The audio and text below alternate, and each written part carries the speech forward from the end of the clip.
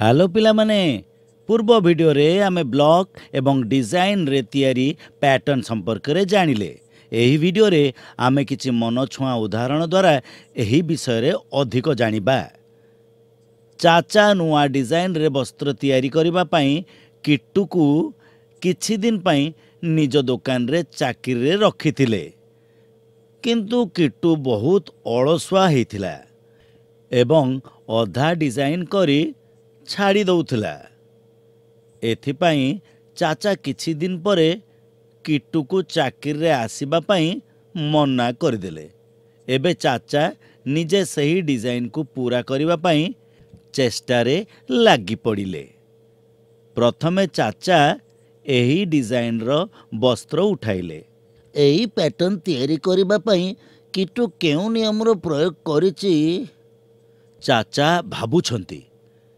ପିଲାମାନେ କ'ଣ ତମେ କିଟୁ ଦ୍ୱାରା ତିଆରି ହେଇଥିବା ଏହି ପ୍ୟାଟର୍ନର ନିୟମକୁ ଜାଣିବା ପାଇଁ ଚାଚାଙ୍କୁ ସାହାଯ୍ୟ କରିପାରିବ କି? ତୁମେମାନେ ଚାହିଁଲେ ଭିଡ଼ିଓକୁ ବନ୍ଦ କରି ଏହାର ସମାଧାନ ଖୋଜିପାରିବ। ଯଦି ଆମେ ଧ୍ୟାନର ସହ ଦେଖିବା ତାହେଲେ ପାଇବା କି ଏହି ଚିହ୍ନ ଏହାର ପୂର୍ବ ଚିହ୍ନକୁ ଘଡ଼ିର କଣ୍ଟାର ବିପରୀତ ଦିଗର ତିନି ଚତୁର୍ଥାଂଶ ବୁଲାଇ ତିଆରି କରାଯାଇଛି। ଠିକ୍ ସେହିପରି ଏହାପରେ ତିଆରି ହୋଇଥିବା ଚିହ୍ନ ଏହି ଚିହ୍ନକୁ ଘଡ଼ିର କଣ୍ଟାର ବିପରୀତ ଦିଗକୁ ତିନି ଚତୁର୍ଥାଂଶ ବୁଲାଇ ତିଆରି କରାଯାଇଛି। ଆରେ ବା ପିଲାମାନେ ତୁମେ ଏହାର ନିୟମ ଖୋଜିଦେଲ। ଏହି ପ୍ୟାଟର୍ନକୁ ତିଆରି କରିବା ପାଇଁ କିଟୁ ପ୍ରତ୍ୟେକ ଥର ପୂର୍ବ ଚିହ୍ନକୁ ଘଡ଼ିର କଣ୍ଟାର ବିପରୀତ ଦିଗକୁ ତିନି ଚତୁର୍ଥାଂଶ କିମ୍ବା ଘଡ଼ିର କଣ୍ଟାର ଦିଗକୁ ଏକ ଚତୁର୍ଥାଂଶ ବୁଲାଇ ତିଆରି କରିଛି। ଚାଚା ମଧ୍ୟ ତୁମ ପରି ଏହି ପ୍ୟାଟର୍ନର ନିୟମ ଖୋଜି ଏହି ବସ୍ତ୍ରରେ ତିଆରି ଡିଜାଇନ୍କୁ ପୂରା କରିଦେଲେ।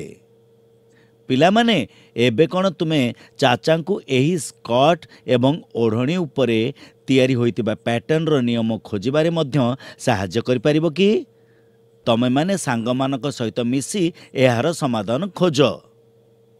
ସ୍କର୍ଟ ଉପରେ ତିଆରି ପ୍ୟାଟର୍ନରେ ପ୍ରତ୍ୟେକ ଥର ଡିଜାଇନ୍ରେ ଘଡ଼ିର କଣ୍ଟାର ଦିଗରେ ଅଧା ବୁଲା ଯାଉଅଛି ଏବଂ ଓଢ଼ଣୀରେ ତିଆରି ପ୍ୟାଟର୍ନରେ ପ୍ରତ୍ୟେକ ଥର ଡିଜାଇନ୍ରେ ଘଡ଼ିର କଣ୍ଟାର ବିପରୀତ ଦିଗରେ ଏକ ଚତୁର୍ଥାଂଶ କିମ୍ବା ଘଡ଼ିର କଣ୍ଟାର ଦିଗରେ ତିନି ଚତୁର୍ଥାଂଶ ବୁଲା ଯାଉଅଛି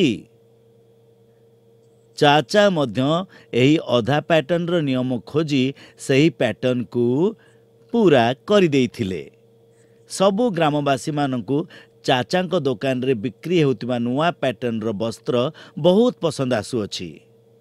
ପିଲାମାନେ ଏହି ଭିଡ଼ିଓରେ ଆମେ କିଛି ମନଛୁଆଁ ଉଦାହରଣ ଦ୍ୱାରା ବ୍ଲକ୍ସ ଏବଂ ଡିଜାଇନ୍ରେ ତିଆରି ପ୍ୟାଟର୍ନ ବିଷୟରେ ଅଧିକ ଜାଣିଲେ।